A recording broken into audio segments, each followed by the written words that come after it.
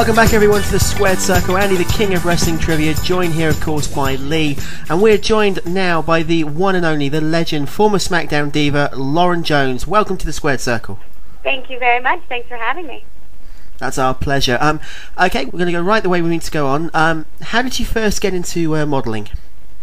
Um, I first got into modeling when I was about 17. Um, I was still in high school, and there was a modeling contest in uh, New York on Long Island, and it was for 17 magazine.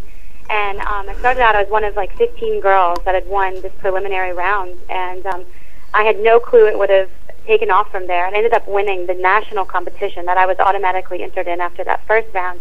And I won that, and I was on the Regis and Kathie Lee show when, you know, Kathie Lee was still there. And um, that sort of led to this domino effect, and that's how it started. Fantastic. And you've actually also earned the title New York City's most requested bikini babe. How did how did that come about? You know what? That just sort of came out of nowhere. Um, I always sort of anticipated doing, you know, traditional modeling like hair and beauty and clothes and things like that.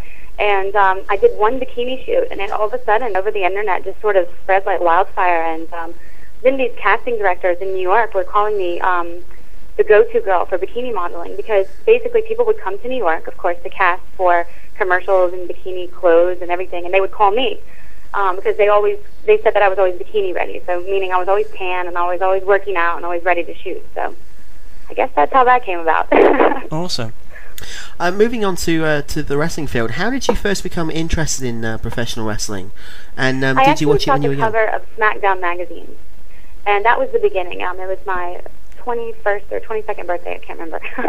and um, I was just on the cover of SmackDown with Paul, the Big Show, who I'm sure everybody is familiar with. Yeah. And um, it was there that I met all of the head of talent development, and they they really we got along together, and they were really interested in having me come on the road and try to audition and see if I could pick up the sport and and gain a knowledge for it and learn how to wrestle. And I thought that was a phenomenal idea, and I said yes, let's go. And um, I automatically was put on the road, and I worked with um, Rene Dupree, who's a French wrestler when he was there, and uh, Hiroko, who's a Japanese wrestler, and um, they taught me and they put me in the ring right away, and it was crazy. I, I just started learning, and then I was just put on TV, so it was just kind of it kind of fell into my lap actually. But I took a hold of it and, and made sure that it went further than just the modeling. You know, I really wanted it to be more of a wrestling career. Did you watch any of the products when you were younger? Oh yeah, definitely, all the time. I loved it. Who were your favourites when you when you watched it when you were younger?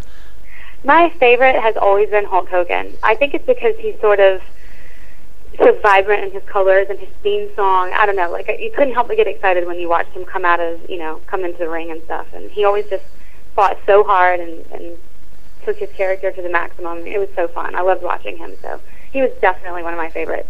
Fantastic obviously once you um, as you mentioned there you started training to to actually compete in the ring um, after you, you, signed with WWE how yeah. did um, obviously coming from a, a career in modeling um, training to be a wrestler is, is a quite a different field and uh, you you do have quite an athletic background but how did um, how did the, the, training affect you? You know what? Um, the training in wrestling is a lot like dancing. If you can imagine having a partner and learning you know, like a choreographed routine, you're basically learning and memorizing and practicing uh, certain moves. And once you have practiced those moves enough times, it's kind of like a dance or any other sport that, or like gymnastics. You, you practice it so many times, it becomes embedded in your brain and it's natural to you. So then when you go back in the in the ring and you're working with another partner wrestling, it's just it, it kind of comes naturally. You, you learn it. You pick it up like a sport or like a dance routine. You just you remember it and um and you take it from there. Fantastic. Um, also, I, mean, I was looking around uh, on the internet today, obviously um, doing doing a bit of, re- of, research on you, and found the video still up on WWE.com of your, yeah. your entrance to the ring, and yeah. uh, Tony Chimel, of course, making um, quite a big deal out of it, saying you've been practicing it all afternoon. Um, was was that factual? You had been practicing that all afternoon. Yeah, I had been because I was I was fairly new, and I was one of the youngest girls that was a diva, and I sort of felt like I needed to have a, a phenomenal ring entrance to measure up. And basically, I got into the ring. I went out before all the other wrestlers were there because all the wrestlers, you know, the guys get first dibs in the ring. They get out there and they start practicing. And the girls kind of come in later, and they're they don't, you know, they have to make way for the guys. The guys are like the center of attention, you know. So I went out there way before the guys even came out, and I just started practicing all these different moves and stuff in Hiroko, and even the Undertaker um, he was kind of watching in the corner, and Hiroko was showing me different moves. And um, I, I said I want it to be kind of gymnastics, dance, you know, flirty and fun. And so we worked out a whole routine, and then I practiced over and over and over. And uh, that was why they were. That's why Tony uh, made such a big deal about it because I practiced it so many times. and I was like, I would look over at the Undertaker, and just because he's been there for so long, I would kind of say, "Is this okay? Does this look okay?" And he's like, "Listen, it looks great. If you feel comfortable with it, you got to go for it." And I was like, "Okay," you know. And he gave me the kind of nod of approval. And um, then Vince McMahon came out, and everyone kept joking around like, "You got to watch Lauren. You got to watch her ring entrance. You're gonna love it." And he's like, "All right, Miss Jones." He's like, "Let's see it." so I did it for Vince McMahon, and then he came knocking on my dressing room door like later that day, and he's like, "I need to see Lauren Jones." And of course, all the other divas are like, "Lauren, get out there. Vince wants to see you." And uh, he's like, "Look, I need you to go out, and you're going to do your ring entrance tonight in front of about eight thousand people." And I was like, "Okay, sure." wow. So that's got to be scary. Did um, is are all the stories true about Vince? Is he is he as intimidating as um, as everyone makes out? uh, yeah, he's pretty intimidating, definitely. He's uh, he's just got this air about him when he walks in the room. Everyone sort of shuts up. You know what I mean? Yeah, I can I can definitely understand that. Okay, um, sticking with, with WWE just uh, just for the time being, uh, who were your, your greatest influences while you're in the the WWE um, locker room? I mean, obviously you mentioned Undertaker there, and Hiroko and Rene Dupree took hand in your training, but um, who who were your, your major influences when you were there? You know what?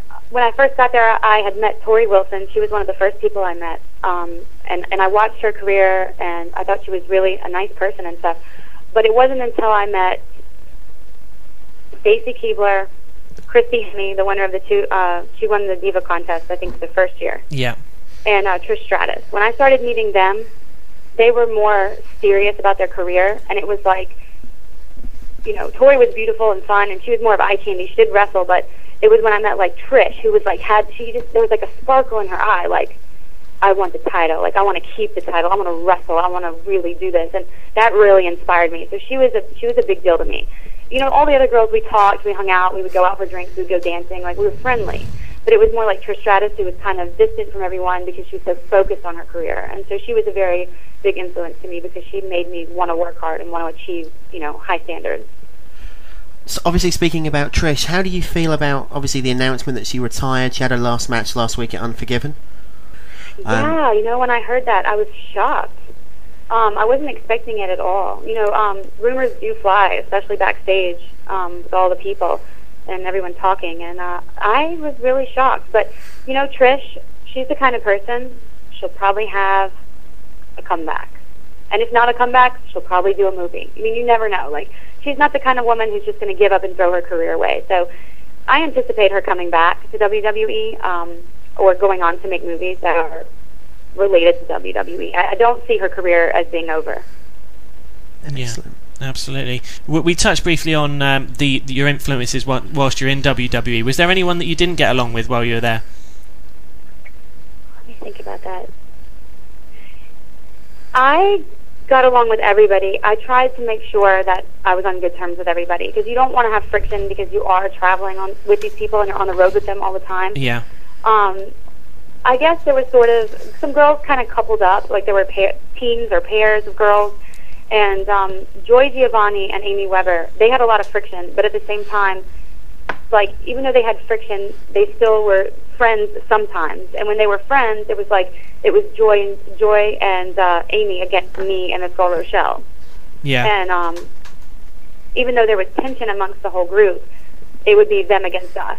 You know what I mean? If there were ever an argument, or if it ever came down to like who was right or who were fighting, um, we sort of teamed up like that. But in general, all the girls sort of kept to their own. Um, Amy and Joy Giovanni, I mean, they they fought a lot, so there was a lot of tension between the two of them. But I mean, it was it was hard. There was tension among everyone because they're always competing. Everyone's competing for a title. Everyone's fighting. I mean, you have to remember there is um there's sort of like this.